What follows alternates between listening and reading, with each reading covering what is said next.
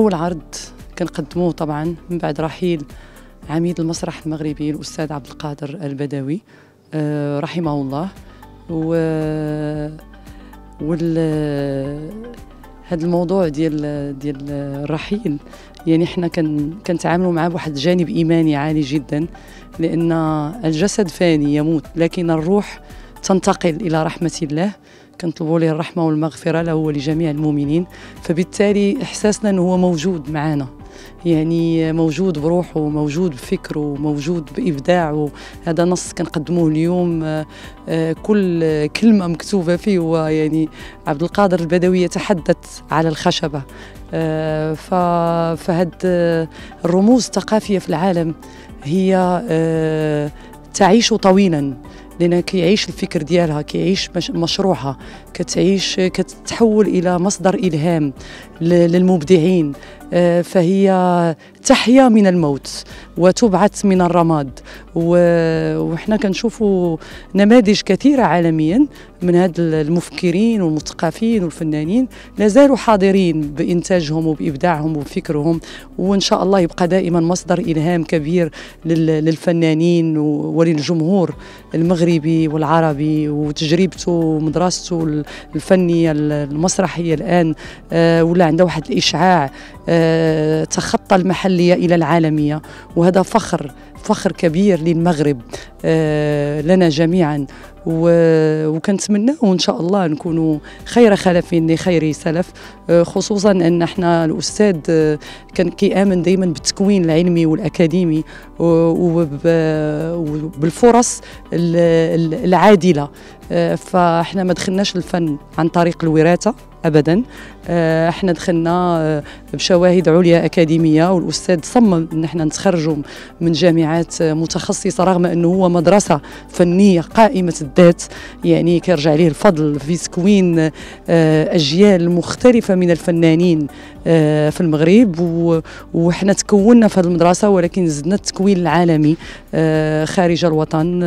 أنا تكونت في القاهرة تخرجت من أكاديمية الفنون المعهد العالي للفنون المسرحية. والأخت ديالي حسناء البدوي المديرة الفنية للمسرح البدوي هي خريجة ديال Hunter College جامعة أمريكية آه، كبيرة في نيويورك قسم المسرح.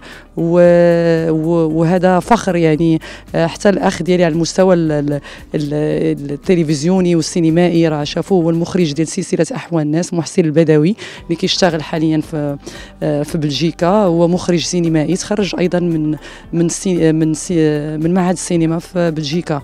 فطبعا التكوين كان جزء أساسي عندنا. آه، ما اعتمدناش غير على الجانب آه، الامتداد مع إنه فخر لنا لكن الأستاذ آه، صمم إنه نكونوا يعني على قد هذه المسؤولية التاريخية يعني بمفردات العصر الحالي اللي هو التكوين العلمي والأكاديمي. يعني الحمد لله.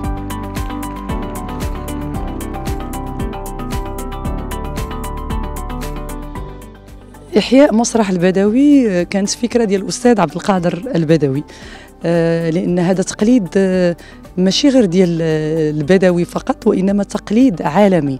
إلى الآن فتحنا دخلنا ال ال ال ال الإنترنت وشفنا العالم العروض العالمية اللي كتقدم.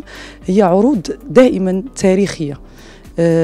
معظم الإنتاجات طبعا الكبيرة الآن في العالم هي إنتاجات تاريخية. هي من الريبرتوار معظمها.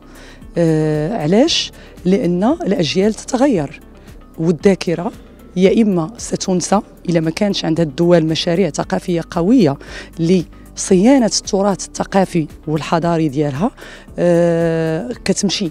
فبالتالي الحكومات في العالم كتخصص ميزانية كبيرة لكل ما يخص صيانة التراث اللامادي.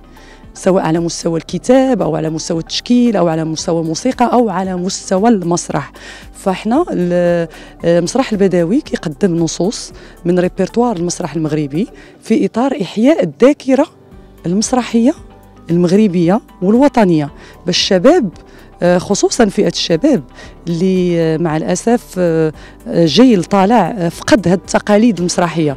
ماشي بحال جيل الثمانينات إلى التسعينات كان باقي ذاك التقاليد المسرحية كاينة حاضرة في المدرسة حاضرة في الجامعة حاضرة في المسارح المختلفة. فإحنا آه، من خلال هذا المشروع ديالنا في مسرح البدوي ومن الجولات اللي قمنا فيها عبر آه، اقاليم المملكة تواصلنا مع الشباب والشباب متعطش جدا لفن المسرح وتيحب المسرح.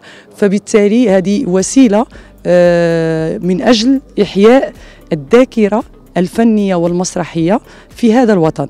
والناس الجمهور يتعرف أكثر على هذه المدرسة المسرحية اللي تأسست سنة 1952 ولا زالت مستمرة 70 سنة في هذا البلد. عميد المسرح المغربي الأستاذ عبد القادر البدوي.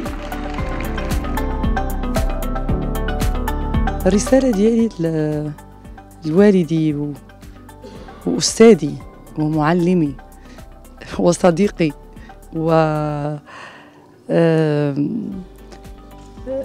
هو كنتمنى إنه نكون جزء يعني بسيط مشرف في واحد الكيان كبير اسمه عبد القادر البدوي. هذا كنتمنى نكون دائما عند حسن ظنه ونكون خير خلف لخير سلف. وكنتمنى يكون هو يعني آه، إن شاء الله في الجنة يا رب هو وجميع المؤمنين يا رب.